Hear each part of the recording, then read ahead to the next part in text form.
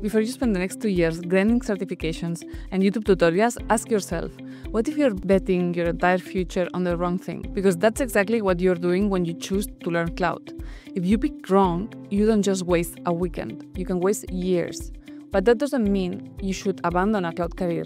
I didn't. I'm Ana, a self taught cloud DevOps engineer, now working for a top AI company, and I have had all the same doubts you probably have right now. So in this video, I will show you whether cloud is still worth learning in 2025 and beyond, how to stand out as an applicant even with zero experience, and how AI changes the game for cloud engineers, and how to avoid being replaced. But first, to really understand what's happening with cloud right now, we need to go back in time. Forget tech for a second. Picture the California gold rush mid 1800s, someone discovers gold. Hundreds of thousands of people drop everything, run to California, and start digging, all dreaming about getting rich overnight. What happened to the majority of them? They dug for months, sometimes years, most found nothing, and they went home broke.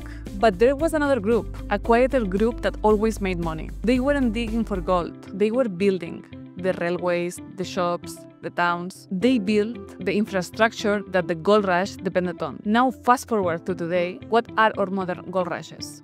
AI, machine learning, big data, every hyped VC funded startup you see on social media. Everyone's striking to strike gold with the next AI app or data product. But what do all of them need just to exist? Infrastructure, cloud, the massive compute power behind AI models, cloud. The ability for Netflix to stream to millions of people at once, cloud.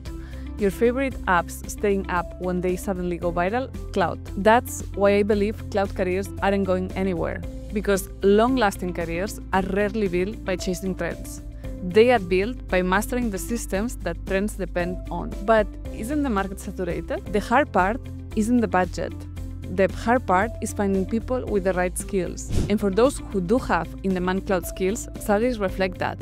Even entry-level cloud engineers can earn serious money because they are solving expensive problems for businesses. So if cloud is in demand, you might be thinking, if it's so good, isn't it already too crowded? Am I too late? And here's the uncomfortable truth. Yes, the market is crowded, but no, it's not crowded with talent. The overall IT job market is noisy, but when you zoom into cloud, the data still shows it's less saturated than areas like generic web development or software engineer roles. So the opportunity is real, but the barrier to entry is way higher than a few years ago. There was a time some years ago when you could grab a couple of AWS certifications, memorize some theory, throw it on your CV, and that alone could get you interviews. But that era is over. Now the market is flooded with people who have credentials, but not the one thing hiring managers obsess over real world, hands on experience. That's the new filter. It's why you see three plus years of experience on job descriptions for junior roles. I'm not saying this to scare you. I just want you to see the field clearly but it's absolutely not impossible. You just need a different strategy. Certifications now are the starting line, not the finish line. What gets you noticed is your projects, your problem solving, and how well you can showcase that to employers. As long as AI and big trends continue to depend on cloud, there will be demand for good engineers. But that leads to a bigger question.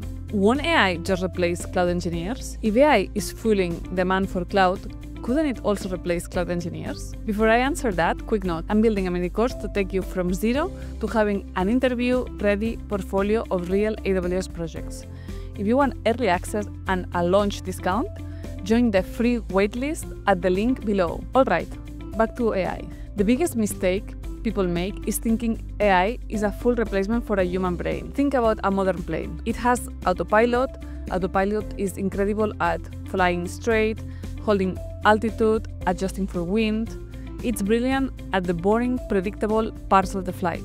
But who handles the high stakes moments? Takeoff, landing, sudden storms, emergencies, the pilot.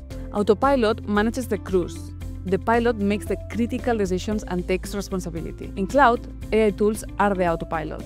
They can analyze logs, suggest IAM policies, flag expensive resources, generate boilerplate infrastructure code, They are amazing at repetitive, well defined tasks. The cloud engineer is the pilot. It designs the architecture for a brand new system, plans and executes a migration for a critical database, owns the response when production goes down at 3 a.m., balances security, compliance, cost, and performance for real businesses. AI is already changing what cloud engineers do, but it's not erasing the role. In fact, it's spinning up new ones. As more companies rush into AI, new problems appear security risks, compliance and regulation, data governance, ethical and legal questions. A lot of future cloud roles will look more like auditors or overseers, making sure platforms are safe, compliant, and well architected. The people who get behind, the ones who only know how to do the routine tasks that AI can easily automate. The ones who win, those who use AI as a force multiplier, not a crutch. Focus on solving real business problems, understand both the tech and the context it lives in, which leads us to the most important part how to become the kind of engineer companies fight over. So, here's what to do next commit to cloud as your infrastructure bet, not just another trend. Build your T shape one solid certification plus one high value specialization. Learn fundamentals through projects, not before them. And use AI as your copilot, not your replacement. And if you want help with step two and three, I'm building a course that takes you from zero experience to an interview ready portfolio of serious AWS projects, the kind that actually prove you can do the job. If that's something you want, join the free wait list at the link in the description and you will get early access and a special discount when it launches. And if you also want to learn DevOps and one of the most in demand skills, Kubernetes, watch this video next.